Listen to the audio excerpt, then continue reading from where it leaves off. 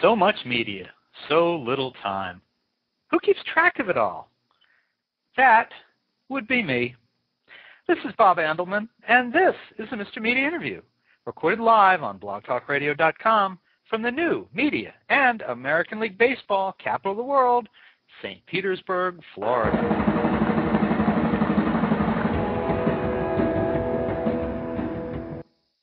I knew there was something missing in my life since it became Facebook, Twitter, Orkut, Bebo, and instant messaging centric, but I couldn't quite put my finger on what. Turns out it's people. You know, real life high fiving, handshaking, backslapping, uh, refrigerator rating friends, neighbors, and family. Jeanne Martinet, the author of The Art of Mingling, just published a new book, Life is Friends.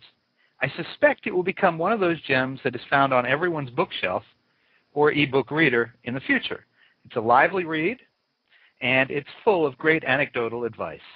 Jeanne, welcome to Mr. Media. Hi, Bob. How are you? I'm good. How you doing? I'm great. So uh, I guess it'd be pointless to asking uh, how many Facebook friends you have because you probably don't mess with that stuff, right? I don't. I get a lot of flack for not being on Facebook. People, people uh, every day tell me, "Why aren't you on Facebook?" And um, I, I just, uh, I haven't gone that way because I, I figure there's only a certain amount of hours in the day, and um, I don't want to spend several of them online every day doing that. It's okay. You're not hurting my feelings at all.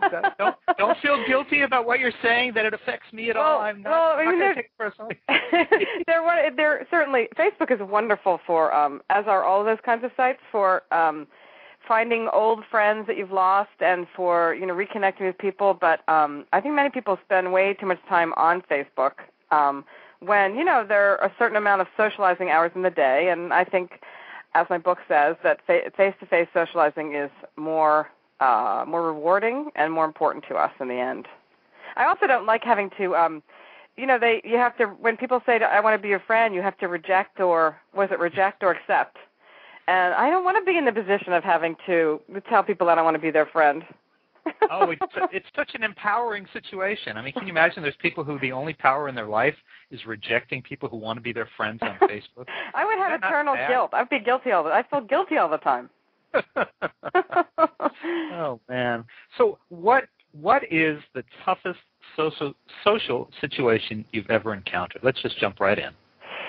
Um, if the toughest face to face social situation I've ever encountered? Sure. Um I would have to say I was taken by um, New York Times columnist at the time, um, Bob Morris, to practice my prove my mingling skills at a celebrity party a couple of years ago. And I had he was standing by me with a pad of paper, and I had a photographer over my other shoulder. And with that behind me, I had to um, I was supposed to go up and, and mingle to people um, like Candice Bergen. and it was the most important. They saw me. They don't know, didn't know who I was, and they saw me with um with this photographer and a reporter, fairly famous reporter, and they all just like scattered. it was, and then meanwhile, you know, I was then it was reported that you know I my that I was sort of uh, got an A for trying, but wasn't a great mingler. But that was because there was a photographer following me around, so that was well, tough. Really? Who I assume that was the reporter's idea because I'm sure that's not a situation you would have put yourself. In No, no, and that was that was the reporter's idea. It made for a great article actually. It was really it was it was really fun, but I'm saying it was definitely a tough mingling situation. It was challenging. Oh, it sounds, well, yeah, I was going to say it sounds terribly contrived. I mean, it's kind of like these reality shows. Like if I show up and uh, God forbid I become a reality show, but if I show up at an event and I'm being followed around with a by a camera, a sound person, and a director, uh, any any common activity I, I choose to partake in is is blown out of proportion. So no, yeah. it was it was it was really it was quite it was sort of silly, but it was a great it was a nice piece, and um, Bob's a great writer, so it ended up okay in the end. So you just have to say that because he might write about you again. Right? no comment. Or, or or you're nice to everybody named Bob. That actually, no. Bob actually Bob Morris is a great writer, and um, okay. he he's a, a wonderful, funny writer, and he actually gave me a quote for my new book, Life is Friends.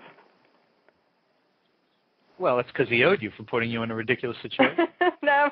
Uh, well, I, I know we've got a number of people. There's a live web chat that accompanies uh, the Mr. Media interviews. Number of people there. I want to make sure everybody knows if you've got a comment or question, for Jeanne Martinet, uh, author of The Art of Mingling and Life is Friends. Please give us a call, 1 646 595 3135. You can probably see that number on your screen anyway. Uh, you can also uh, submit questions in the web chat, and I will do my best to ask Jeanne. Uh, don't ask anything about Bob Morris in the New York Times, so I don't want him to come after me next. Um, and uh, I'll also point out that you can learn more about Jeanne, who may be Facebook, um, may, may steer away from Facebook, but she does have a website. It's www.jeanne, J-E-A-N-N-E, Martinet, M-A-R-T-I-N-E-T, solid, jeannemartinet.com. Um, I suspect, you know, with the two books out, that you've become one of those people who is bombarded with questions about dealing with uh, awkward situations, kind of in the same way that dermatologists are asked, "Does this mole look like cancer to you, doc?" yes, I, I am, and I actually I love answering questions like that though because um, it's an area that I obviously like very much. And I also don't mind. I mean, I don't want people to think I'm a luddite just because I don't believe that that socializing should be done online. A lot of other things, a great, uh, a lot of other communi- forms of communication are, um, the, you know, the internet is perfect and wonderful for them, such mm-hmm. as answering people's questions about socializing. Mm-hmm. But um, it's only it's only the the actual real relationships I think people should take offline. Well, you know, you know, I'm just thinking about that. I don't want to get too far off off topic here with this Facebook thing, but okay. I have to say, in defense of Facebook, um, I'm glad that it stays online and not personal because, like in the last few months, sorry, I've actually heard from a number of girls I went to high school with, and I think I prefer keeping them at a distance.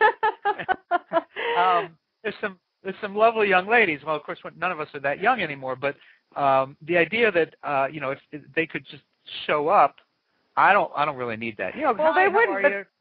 But, but before Facebook, they wouldn't have shown up either online or else or otherwise. well, it's, it's, I figure it's nice to be remembered, but I think I think most of it needs to stop there. Yeah. Well, no, it's it's great for for um, it's great for for finding out where old people are. That's it.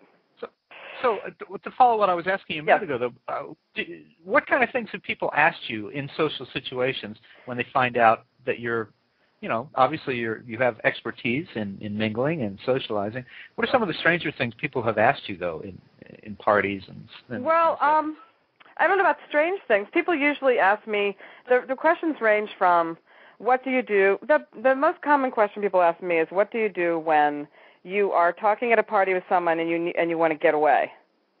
Uh, or you were you've made a horrible faux pas, such as the number one faux pas in America, um, as, asking someone about their pregnancy when they're not pregnant. oh. oh. or you know, or there's all kinds of complicated questions about um, uh, that I deal with in my new book about what to do when you want to invite one person to a dinner party, but they actually know other friends of yours, and you know, you, you feel like are you obligated to invite those other ones, and you know what to do when someone comes to your dinner party and they drink too much and start making rude comments? And you know they're all the questions are are vast. The range is vast. You had a great you have a great anecdote in there uh, i think that's relative to what you're talking about where uh, there someone was having a like a party and uh they invited uh this one and that one and realized before it was too late that these two had had a they had been like college friends and they had a had a oh yeah had a argument sort yeah yeah, had, they had had a falling out, and they actually right. hadn't spoken to each other for maybe ten, twelve years, and then there they were, um, you know, on the on the same patio on the spring day. yeah, no, that was that was a, the host on that in that in that case. The host did the appropriate thing, which was to um I mean, they they were lucky that the the two people were willing to at that point. I think they were ready to make up. But the the the, the hosts were a husband and wife, and the husband took the man aside, and the wife took the woman aside, and they and they sort of said, "Hi, I'm so sorry you could. You, I'm so glad you could come, and you know, hope this isn't awkward." And, and then everything was fine. Well, that's amazing. Thing. It did have a happy ending. Yes doesn't always happen that way. oh. But if you're, you know, the you know the as you as you know, I'm sure from looking at the book, the um a lot of the the focus on my book is on being a good host and a good guest because since I'm trying to get people back into um socializing at their homes rather than online or in restaurants, um people a lot of times people I think have forgotten how to be good hosts and guests. Mm. Well, and I want to ask you about something else you just mentioned about uh, dealing with guests. I, know this rarely happens in America, but dealing with guests who've had too much to drink. Yeah.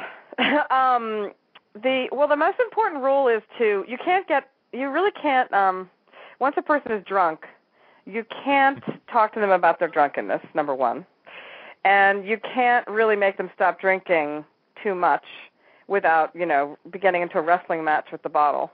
Um, what you can do is just um, encourage them to go home on in some kind of mm, subtle so, subtle way. You don't have to be too subtle with the drunk because they'll never they they they their subtleties are lost on most people who are really drunk. But um, you know, you basically call them a cab and say, "Thank you so much for coming. Be very nice and friendly. Don't be get into a conflict and try and get them out of your house before they fall asleep on your couch." Uh, it's also good if you can sort of enlist the help of, if it's possible to enlist the help of your other of your co of your guests. However, if the you know a lot of people get the people get very drunk and they they're not bothering anybody, that's fine. it's only when they get drunk and obnoxious. There's a good drunk and a bad drunk. Mm. I so I, as I was reading through the book, I, I was thinking I wish I had this 20 years ago when I was. I'm a little better about stuff now, but boy, I could really use this kind of advice. Uh, not so much on the drunk part because I'm not a drinker, right.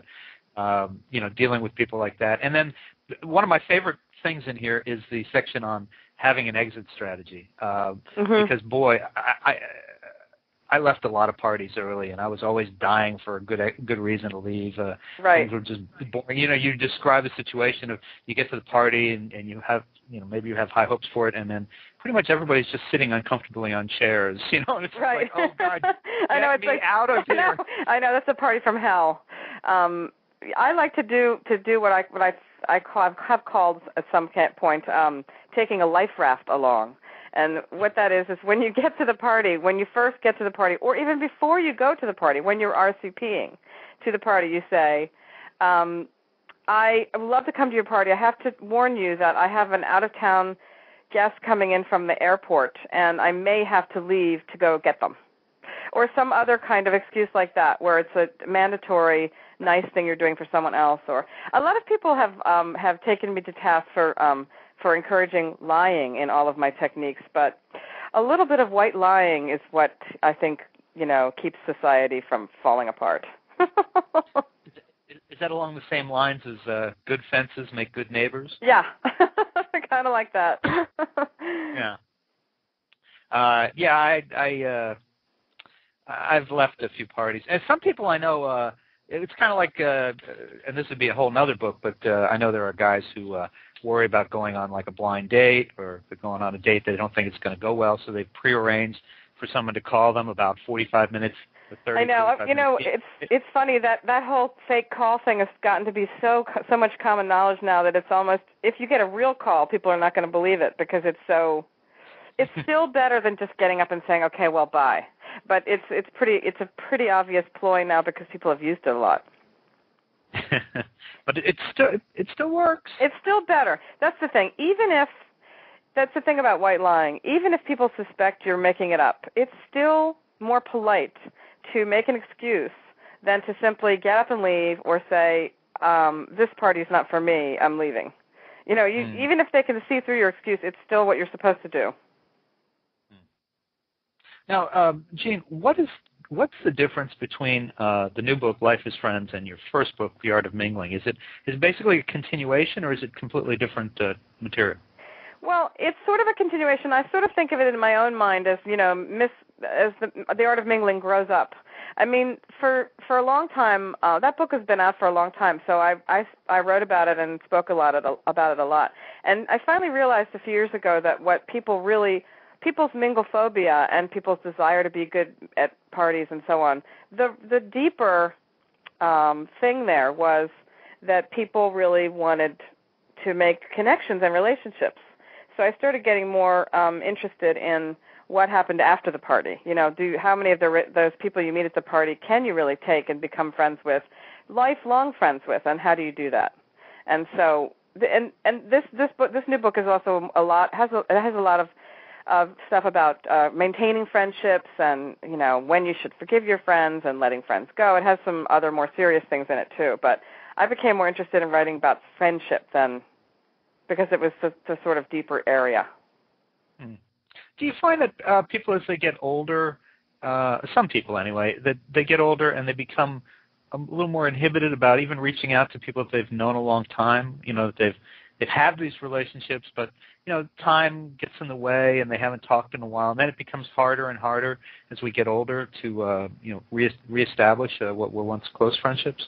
I think it does. I think people when when you get older, you get you get lazier, you get more set in your ways, and you know, it's if it's easier. There's I also sorry to blame technology again, but there is a certain I think in past generations it was easier because people, but from pure loneliness and boredom, would reach out to people more than they do now. I mean, if you have three wonderful DVDs waiting for you and a pizza just a phone call away, you know, and a comfortable chair. Sometimes it's hard to think, you know, what what's missing. You don't know that you that this is what's missing. You you you lose the whole socializing urge sometimes. Um and and I do think that people especially people in couples have told me that you know they spend a lot of time um their whole lives, you know, managing their kids and you know micromanaging them sometimes, and you know driving them to soccer and spent every single second with uh, doing that. And then the kids go off to college, and the husband and the wife sort of look at each other and go, "Well, wait a minute, we don't have any friends," or you know, so doesn't always happen. Sometimes you've ended ended up making really good friends with the parents of your kids' friends, but you know you've had lots of times you haven't had time to develop those friendships and friendships that are really that are deep intimate friendships really do take i won't say effort but they take uh they take time and engagement mm. i i i uh, you know for all the kidding about the facebook i mean i i have placed great value in uh, longtime friends, and and uh, what I what I like best about having real friends that you can meet with in person is that if you've known them for a while, you can and they're good friends, you can always pick up exactly where you left off, and you don't have to go through all the crap you do with new friends. right, exactly. You don't have to talk statistics. You know, all the statistics are already known, so you can just like start talking. it's really wonderful. And the you know the other reason I, that I encourage people to have dinner parties in this book is, um, and many people are having dinner parties. It's not that the dinner party is quite dead; it's just dying um, is that when you when you have a dinner party that lasts where you're eating together at someone's house over a period of four to, four year four years God four year a four year dinner party that would be a long That's one. a long party. Four hours. Um, by the end sounds of that like, sounds like the Bush administration. I'm sorry go ahead.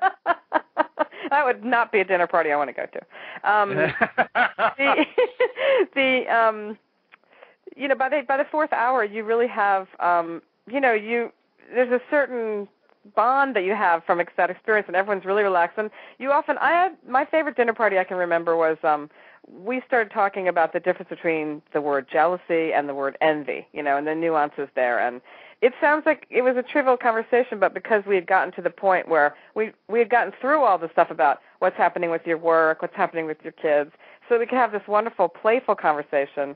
And it's through that kind of conversation that um your your real sort of soul is revealed. I mean, that's too serious, but you know, you're you really talk about life and your your experience and your feelings when you talk about something that's not just the official how I am. You know. Mm-hmm.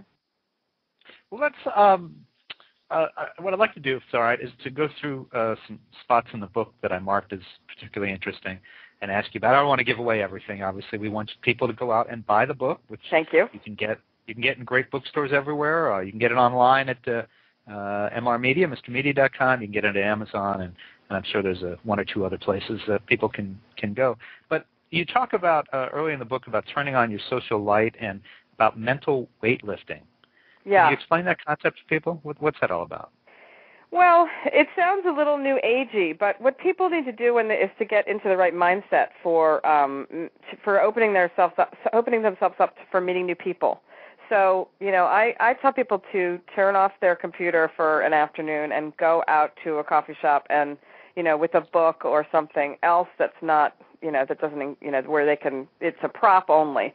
And you know like look around see start listening to people listen to what their conversations are and just start being more aware of the people around you rather than always being on your cell phone. Um and uh there are uh, some other sort of tricks that i offer but they're all they're all designed to kind of get you to shift a little bit, you know, like so that you're not You're not always um, you know, you you leave your house and you're not always doing the same kinds of things that you're doing. You know, which for a lot of people involve uh, lots and lots of emailing and phone calls and Facebooking.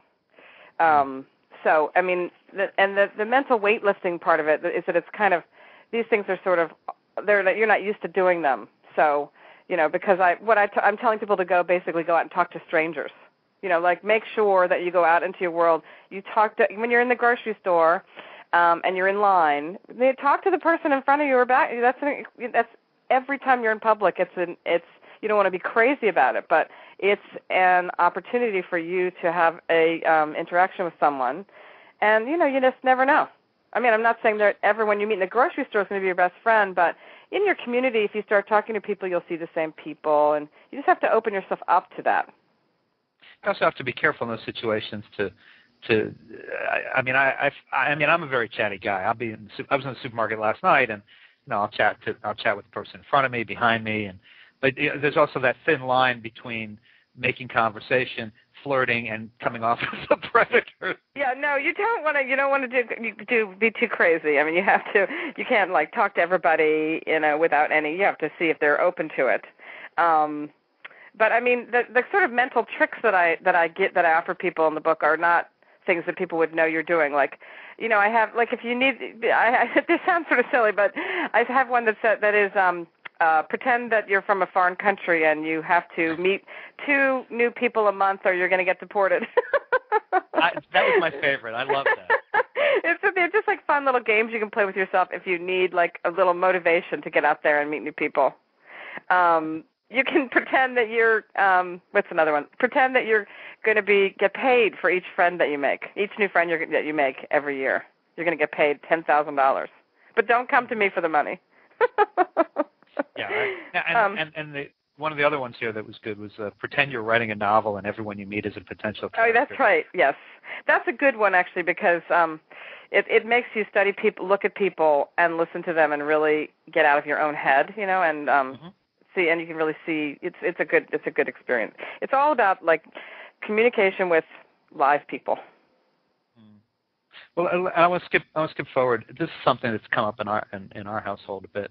Um, you have a section on getting over your hosting phobia, and, and I know in our case uh, where that's come from is that uh, I've been married over 20 years, but early on we would try to uh, uh, host uh, maybe have a party for a holiday or just you know have a bunch of people over. And it just it just one of two things would happen.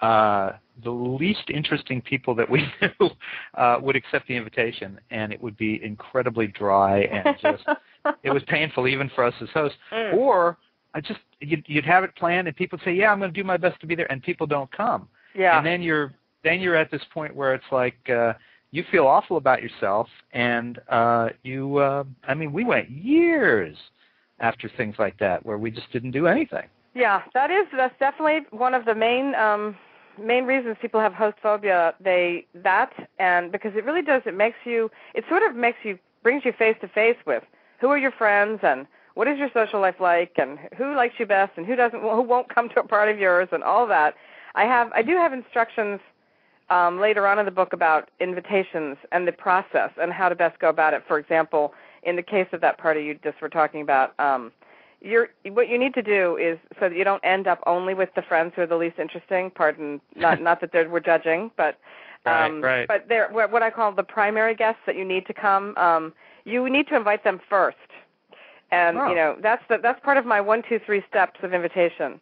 Step number one is to to invite the uh, is to set the date. Step number two is to invite your primary guests. And then step number three, you send out an email invitation to all the other guests and the primary guests together. So it looks like you're inviting everyone together, but you've already secured your primary guests. But anyway, um, getting back to host phobia, um, uh, people are also afraid not just of the, those kinds of fears, but they're also afraid of letting people see how they really live. What does their house look like? How they how how they cook? You know, how clean is their house? How big is their house? There's all those fears too. But they all the different fears, all the different kinds of host phobia come down to the primal fear, which is um, you know, fear of rejection. basically. Mm-hmm. Fear of rejection, fear of failure. So, you know, I, I give some encouraging ways to try and um, to get people over their their fears and and get back into the hosting thing. And and mainly, I I try and I offer the what I call the five laws of hosting for people to remember. and so the first one is everyone is always is always grateful to you the minute they walk into your door. They're happy to be invited. So, you know, you shouldn't worry about what your house looks like, etc. Um, and the number two is everyone has been a host, so they know all the things you're going through as hosts. They they've been through them probably too. And it also it's the guest's responsibility as well as the host to make the event a success. That's rule number three. Uh, number four is no one is thinking about you; they're thinking about themselves. That's just like, and everybody always thinks everyone is thinking about them, but like and judging them. But and then the the last one, the most important one, is to have a good time, and your guests will will have a good time too. But um, as far as the you know the the whole thing about um, about you know inviting having a party, no one will come. You know, probably you with if you just brush up on your invitation skills, that won't happen. Because Bob, it sounds to me like I'd certainly like to come to a, to a party at your house. So you should put me on your next guest list. I will do that. Let me make a note of that. Okay. But but you know maybe you're not inviting people in you know um, you're not inviting people um, ahead of enough ahead of time. Well, I yeah I I was thinking as you were saying that that I, I want to clarify something that I actually did successfully hold throw a birthday dinner party for my wife about two weeks ago. It's the first time we've actually tried to do anything in a long time. Oh, good. And it went extremely well. It was it was extremely it went extremely well, and who knows, maybe in another ten years we'll do it again. Isn't it? Wasn't it? And wasn't it a great feeling when it went well? Oh, it was great. It was definitely great fun. Yeah, absolutely. The thing about hosting is that it, it's on this on the surface it's it's an act of generosity, but really it's um the, the host actually gains a lot by hosting because you get you know a lot of credit from your friends for doing that. You hope you should get return invitations, and you know it makes you makes you feel you get to show off whatever's good about your life, your house, your wife, your cooking skills, whatever. It's a great thing. Oh my God, people are going to invite us to their houses now. See, I'm thinking I should have never done this. well, if you read if you read my section on dodging, you'll be able to get out of any unwanted invitations. and uh, let's see, we talked about. Uh, I'm going. I'm thumbing back through my uh, notes here. Um, and well, this I think this follows on what we were just talking about uh, as we kind of wind down here. Uh, you have a section here, the five fatal guesting sins. Uh, of course, the number one is uh, not showing up when you've been invited. But what are some of the other? the you know, five fatal the guesting sins. Yeah, you, whatever you do, if you want to be a good guest, don't commit one of the five fatal guesting sins. Not showing up is number one.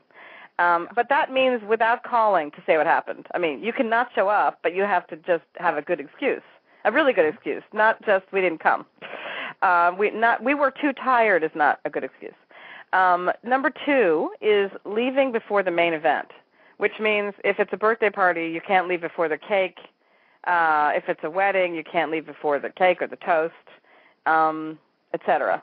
Uh, you number three is to break things or ruin something without apologizing. that seems like an obvious one, but sometimes people feel as though um, when they break something or s- spill something that they rather just if they don't mention it, no one will focus on it, but you should apologize. Um, sin number four is making the host feel bad about the party in any way. You know, this can be done in a very sort of passive aggressive way. The guest can come in and say, Oh, you're having pie. How wonderful. Well, I guess that wonderful cake we had last time was too rich for me anyway. You know, like there are people who come in and just make you feel like, well, you should have cooked something else. You should have invited some. Oh, so and so's not coming why isn't Harry here? You know, I oh well, that's okay. You know, and then all the the host is already like frazzled, and now they're feeling bad about something. You don't want to do that. And number sin number five is failing to thank the hosts or host. Um, this is also obvious, but you would be amazed at how many times I have a party. Um, when you have a cocktail party, people don't have to write you a handwritten note, but a, a, call or an email. An email doesn't take any time at all to email and say, "What a great cocktail party! What a great party!" Period. It takes five seconds.